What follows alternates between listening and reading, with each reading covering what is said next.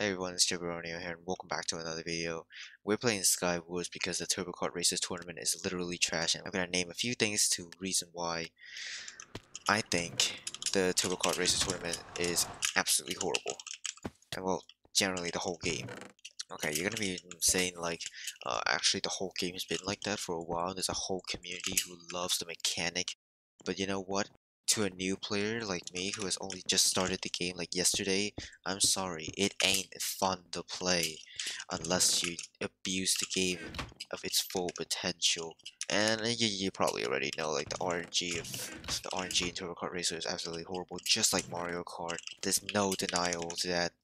And I don't think I need to talk about how bad it is. In when you're in the first place, oh, hold on. Let's just deal with this guy real quick. There's another guy. Thank you. Uh, there's gonna be another guy here, isn't there? I'm gonna get out of here. Please, I want to rank Turbo Kart Racer. Thank you. But yeah, I don't think I need to emphasize it anymore. The RNG is absolutely horrible. Now, in Mario Kart, you probably already know how Mario Kart RNG is like in first place you don't get much item but in last place you usually get really OP items which will be able to help get you to a higher position a lot easier.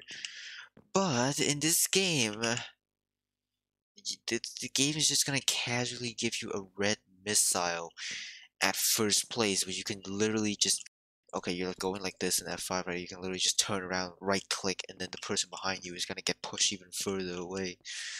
It the why would you give a red missile to the guy in first place? And even a green missile is already broken enough, and you're telling me you're gonna give a red missile? Well, I don't have any arrows. Just a missile alone, the fact that it also does area damage as well, just makes the whole game seem so unbalanced. And I really don't want to say it, but I don't like the game. I think it's a bad game. Well, I wouldn't say it's a bad game. In fact, hold on, hold on, just a sec. I'm in a bad spot right now. Uh, he's dead.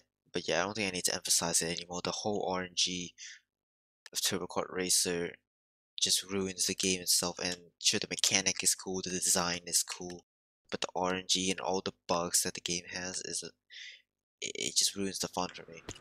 Especially with the bugs. Like, holy. I don't think I need to emphasize how buggy the game is. If, if you play the game for over, I don't know, 10 hours, which I definitely did yesterday, you, you could already tell that you probably fell off. You probably went out of bounds like at least, I don't know, a few times by now. And the fact that it's so easy to go out of bounds is just ruins the whole game. It ruins the whole fun element of the game. I mean, I understand why it's easy to go out of bounds because it's a very complex game. like it's a completely different game built into Minecraft, but you know, in Hypixel, you could at least make the map like different so that you don't go out of bounds. But, but I mean, honestly, I, I can ignore the whole out of bounds. Oh, actually, hold on, get clean here. Uh, this is not a good spot to be in. I'm gonna crit this guy out before he gets strength, and all part of my plan. But yeah, I I can honestly uh, not care about the whole out of bounds thing.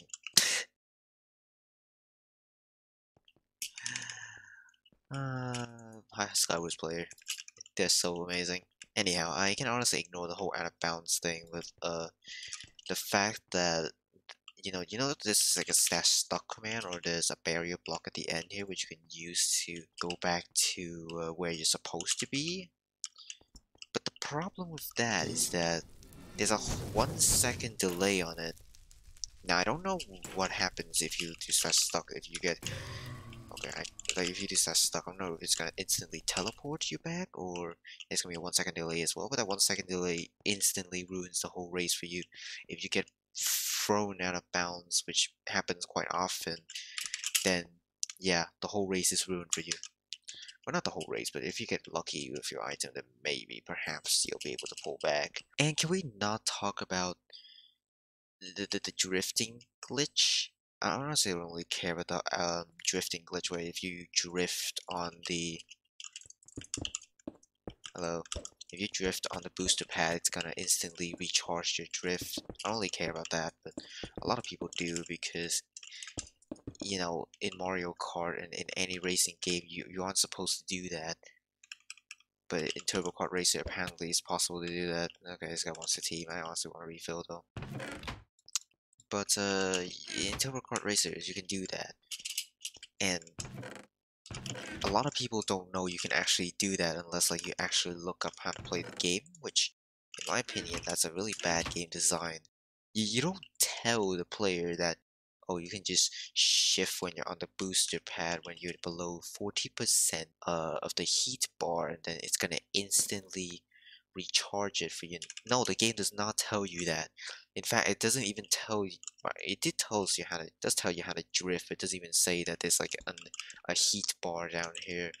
It just says it fills up a heat XP bar, which it clearly says within the practice area. But then, you know, it, it doesn't tell you that if you drift too much, it, you're gonna end up in a very bad position. And the funny thing is that they just make it into a tournament without actually like trying to do any fixing, because the game in the tournament is exactly like how mm-hmm. the game was before the tournament. I there was no difference whatsoever within the mechanic and the bugs as well.